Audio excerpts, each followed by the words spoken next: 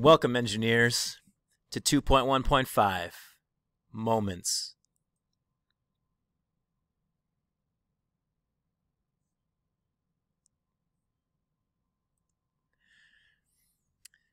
This is from one of my favorite movies of all time, The Sandlot.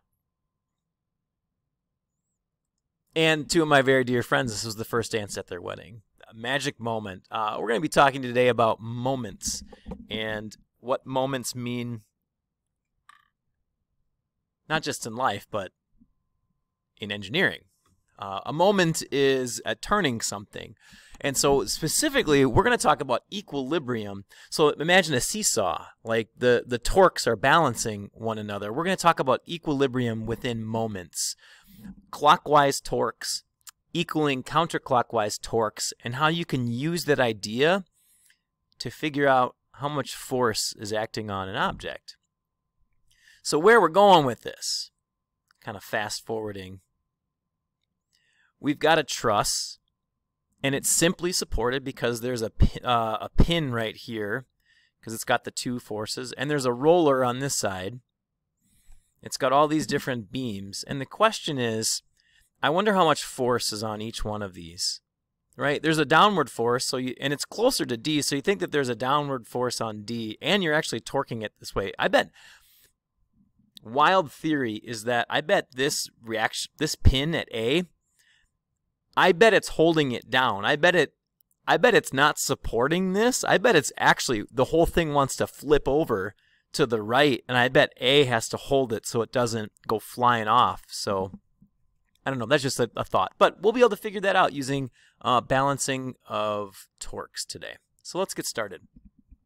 A torque, first of all, is just force times distance. Uh, torque, I sometimes say the word torque and moment. They mean the exact same thing force times distance.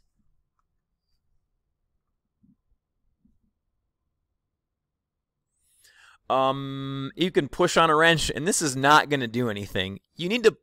It's the not only is it the moment when we we say torque, it's the force times the distance. It's the force that's perpendicular to the lever arm. So, for instance, right here, if you push on this, um, not gonna not gonna work. Uh, maybe maybe sometime you've gone to a door and you push on the wrong side of the door and, and you are not very effective at opening that door because you're like you're pushing on the pivot. So you need to be a certain distance away from the pivot and you need to be pushing perpendicular to the pivot. So that's how you calculate moments is the force that's perpendicular. That doesn't work. You got to push at a right angle or at some angle such that there's a, a perpendicular component to your force from the lever arm. And this distance to the pivot, this would is what we're measuring when we try to calculate the torque. Or moment, M, capital M, that's what they use. And when I'm, in, when I'm talking in physics, I use, this is the Greek letter tau. It's like a backwards J. Don't say backwards J. It's totally unbecoming of people of your stature. It is tau, not backwards J. Tau. Force perpendicular times the distance. So this force times this distance, that's how you figure out the torque.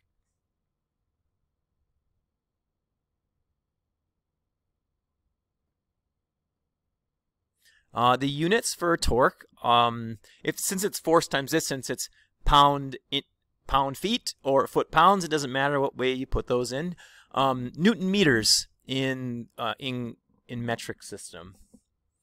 Most people, it's funny. Most people say pound feet, and people will also say foot pounds. So, like in inside of the the English language, these are kind of um, you can switch them around pretty easily, but nobody, and I mean nobody, says meet neuters, meter newtons. They all say Newton meters. That is just the way it is. This one is not commutative doesn't get switched around. Uh, the direction, if we go clockwise, and we've talked about this before, when we turn uh, clockwise, this is going to be a negative moment. When we turn counterclockwise, we're going to say that that's a positive moment.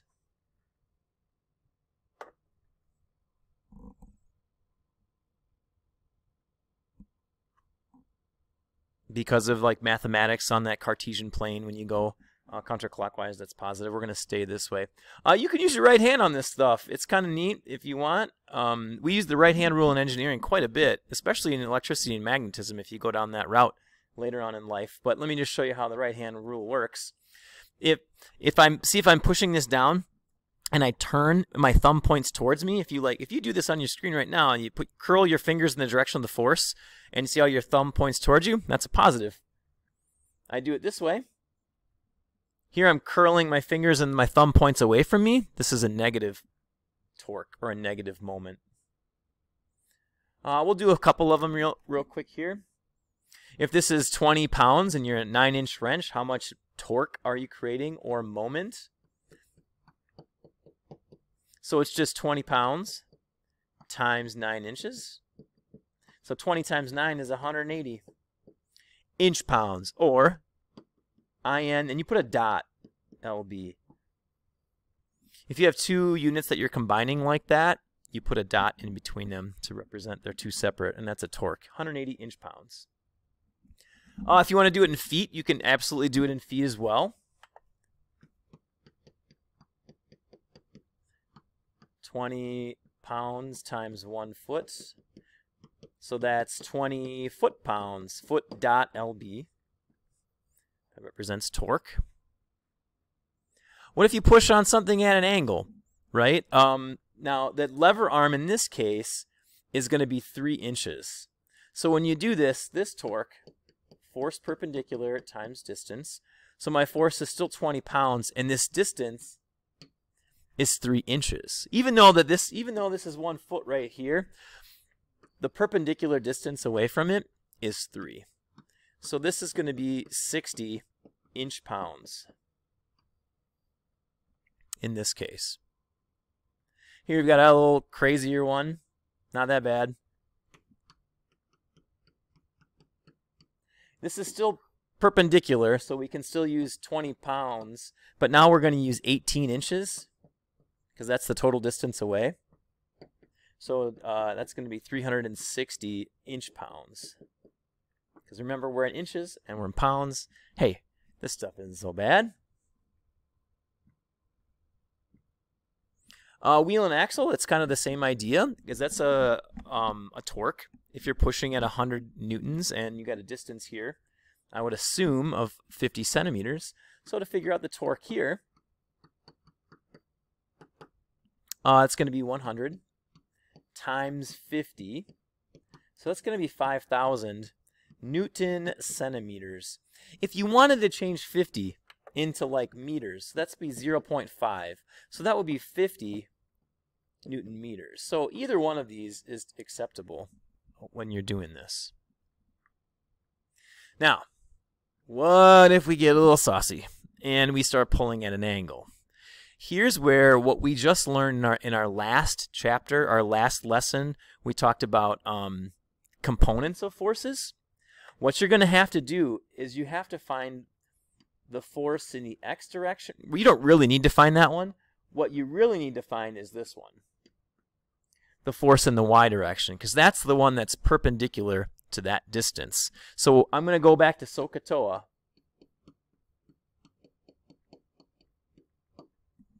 Right now. Uh, this is going to be the opposites, and I know the hypotenuse. So the one that uses opposite and hypotenuse is sine. So I'm going to say the sine of 50 degrees is equal to the opposite over the hypotenuse, 100. So this force in the y direction, I take 100 times the sine of 50. Let's do that real quick. 100 sine 50. Bear with me as my computer, my calculator boots. I get 77.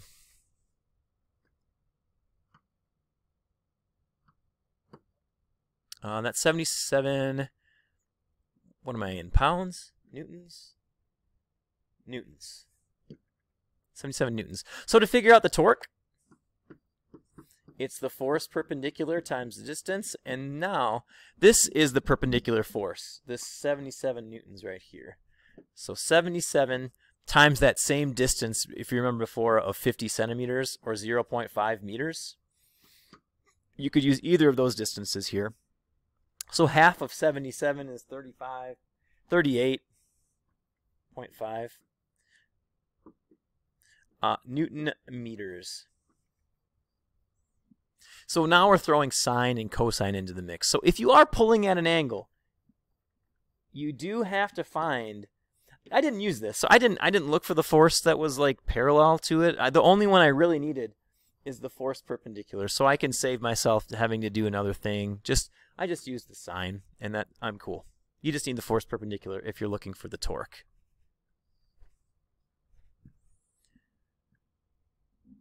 Uh, equilibrium. Um, when you're in equilibrium, that means a couple of. It means in in in engineering world, that means three things. For high school engineering, it means three things. Thing number one, you're not going left or right. If you add up all the forces in the x direction, those are going to be equal to zero. Like all the left hand pulls equal all the right hand pulls.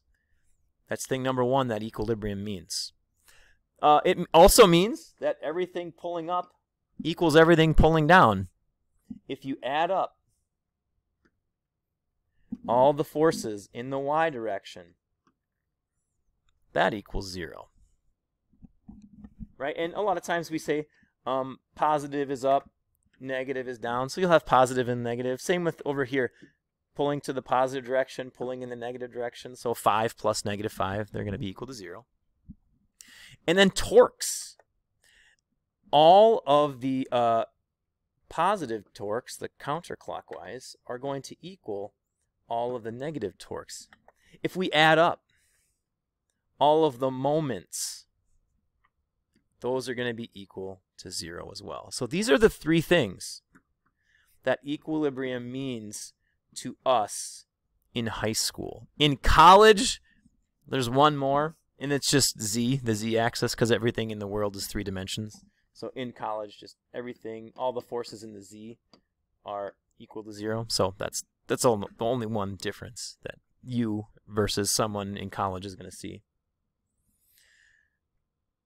Now, here's what it means on a like here's an equilibrium on a seesaw and what that means.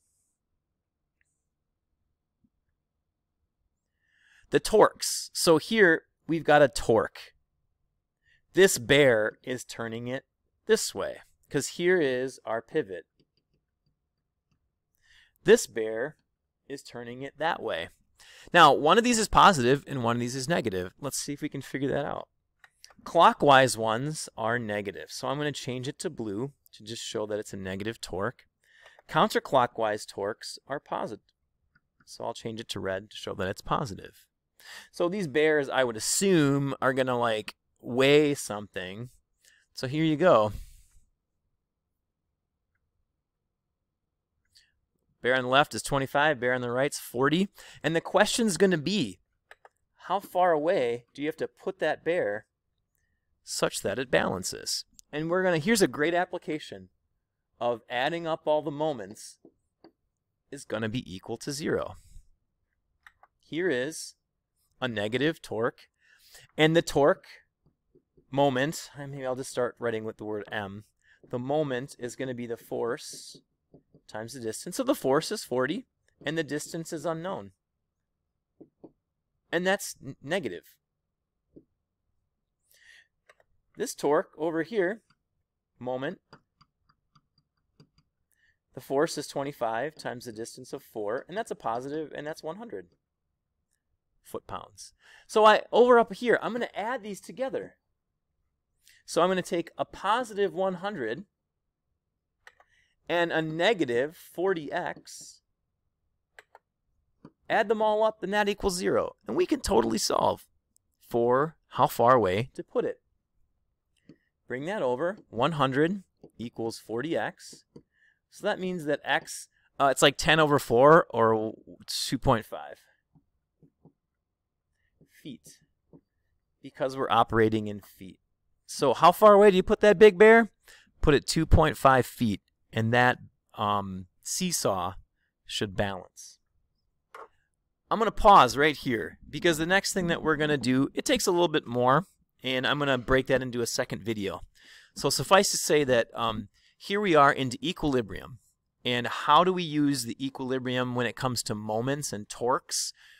Clockwise torque equals counterclockwise torque. And this one's pretty straightforward because there's only one force on each side, so it's but you could have multiple torques, you know, like two positive ones and three negative ones. And we're going to get there coming up.